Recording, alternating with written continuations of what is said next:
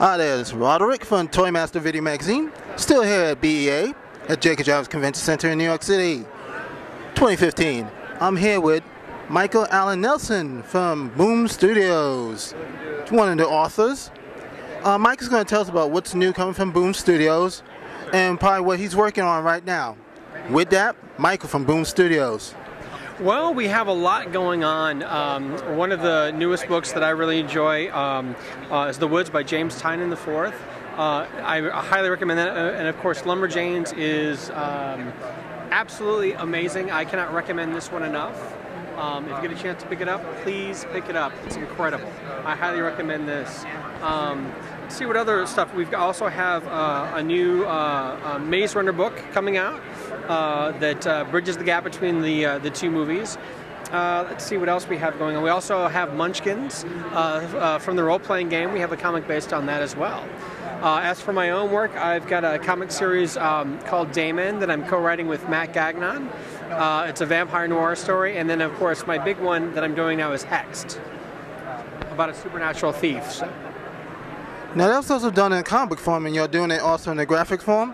Uh, yes, yes. So there is the comic, and then there's also the prose YA novel that just came out uh, about three weeks ago. So, which is uh, a, a, separate story. It's more of a prequel, more of a prequel. So it's not a retelling of a story that's already in the comic. It's a separate, separate story.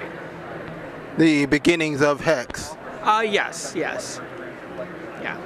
So, and that's through Pyre Publishing. Uh, will there be any art inside the book, or is just basic just unwritten? It's, it's, it's just prose. It's just prose. So there's the graphic novel, there's the original mini that came out in 2011, the current ongoing series uh, with uh, uh, Dan Mora on art and Gabriel Cassata on colors.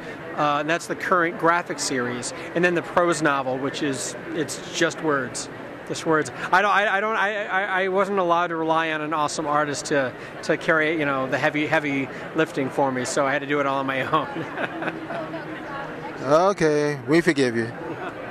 Just gonna have to read it. All right. So that's all the new stuff coming out from Boom Studios. That's right. That's right. And uh, if you're curious about what else uh, Boom Studios has to offer, uh, you can come out to the um, website boom-studios.com or just type boom into Google and we're the first thing that shows up. So I highly recommend going to the site and we've got a lot of content there. A lot of content. All right. Well, thank you, Michael, from Boom Studios. And I'm Roderick from Toy Masters Video Magazine here at BEA at the Jacob Javits Convention Center in New York City for 2015. With that, take it easy, everybody. I will catch you guys later.